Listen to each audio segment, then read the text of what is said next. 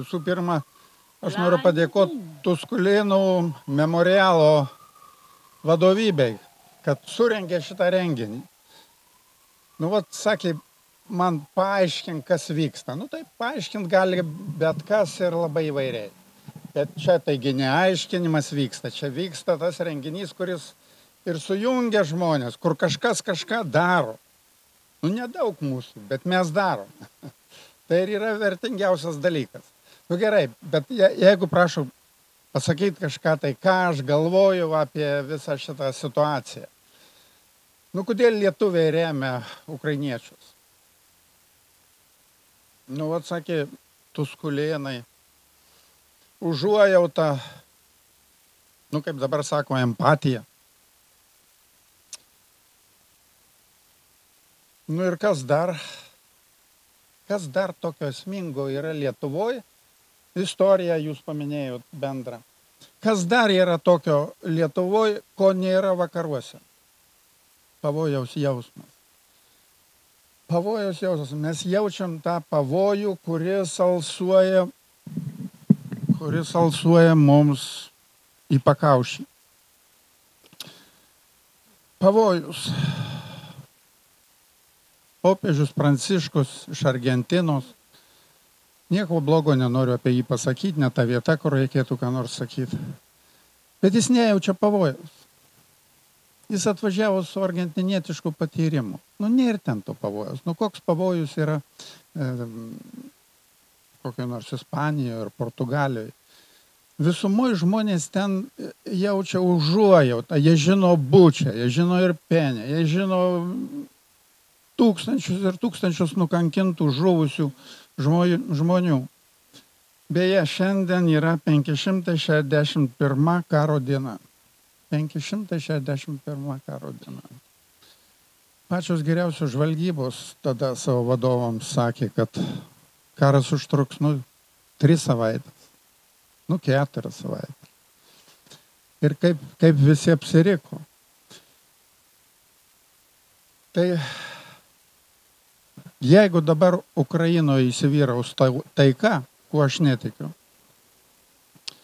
tai karas prasidės Lietuvoje, karas prasidės Europoje toliau į vakarus. Esu tuo įsitikinęs.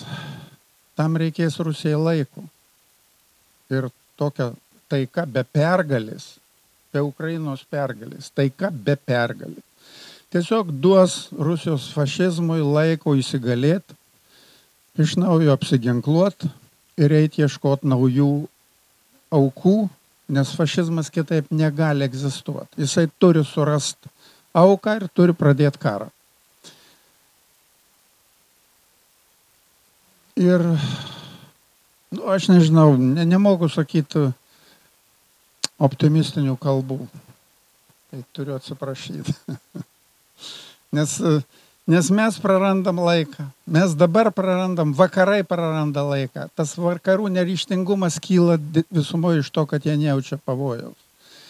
Ir mes prarandam laiką ir leidžiam stiprėti rusiškam fašizmui. Ir jis stiprėja. Nu, norit, aš pasakysiu labai trumpai ir labai paprastai, bet aiškiai.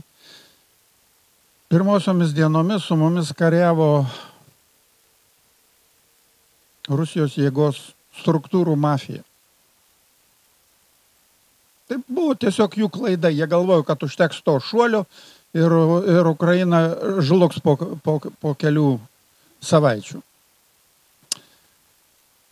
Dabar praėjo pusantrų, daugiau negu pusantrų metų ir prieš mus jau stovi. Prieš Ukrainą ir prieš mus jau stovi visa valstybės mašina. Rusijos valstybės mašina pajungtos visos ministerijos, visos įstaigos, visa pramonė pervedama į, į ant karo bėgių. Ir kokia trečia fazė? Tada, kai prieš mus atsisos fašizuojanti tauta. Tada, kaip Hitlerio laikais, jam pavyko fašizuoti visą vokiečių tautą. Ir ta tauta pradėjo antrą pasaulinį karą mes turim geriausiu atveju 10 metų, galbūt 7, galbūt tik 5, kada tas fašizacijos, Rusijos fašizacijos, nu arba kaip dabar ukrainiečiai liepia sakyti, rašizacijos. Rašizacija pasieks tą laipsnį, kada jinai prasiverš pro visas sienas ir pliūptelės visų pirma ant mūsų. Užlies mus. Karu užlies aukom. Taigi, kuo mes galim padėti Ukrainai? Kol kas mes mokam pinigais. Jeigu įvyks blogiausia, mokėsim savo vaikų krauju, savo vaikų gyvybėm. Todėl, kol mes turim tą galimybę, mokėkim pinigais. Padėkim Ukrainai viskuo, kuo galim.